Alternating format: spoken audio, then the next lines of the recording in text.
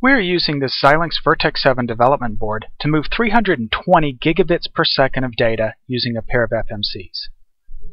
Here's how it's done.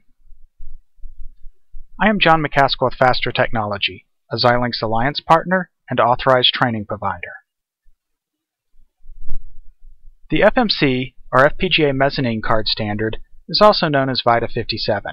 It is a powerful and flexible form factor that is designed to take advantage of FPGA's capabilities and their flexibility. Xilinx is supporting the FMC standard for use on their targeted design platforms, and I would like to show you how we have taken advantage of the FMC standard for our projects. We created this reference design to demonstrate the capability of our S28 FMC to deliver 40 gigabits per second of bidirectional serial bandwidth over each of its two QSFP ports. And we put two of these FMCs on a Xilinx Virtex 7 development card to deliver a total of 320 gigabits per second of bandwidth.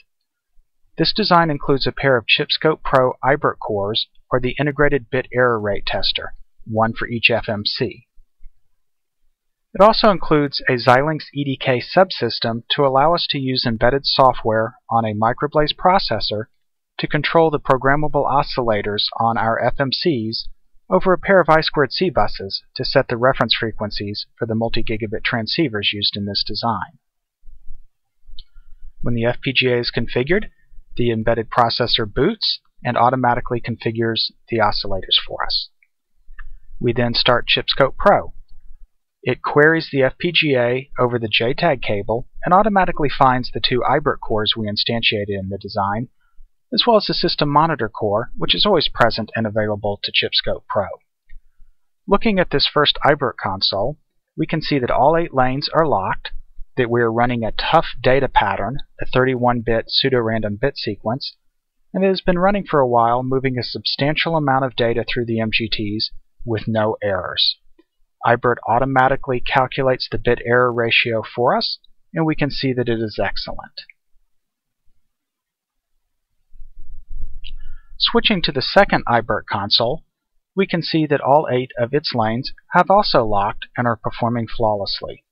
It is also using a tough data pattern, has moved a substantial amount of data without error, and also has an excellent bit error ratio.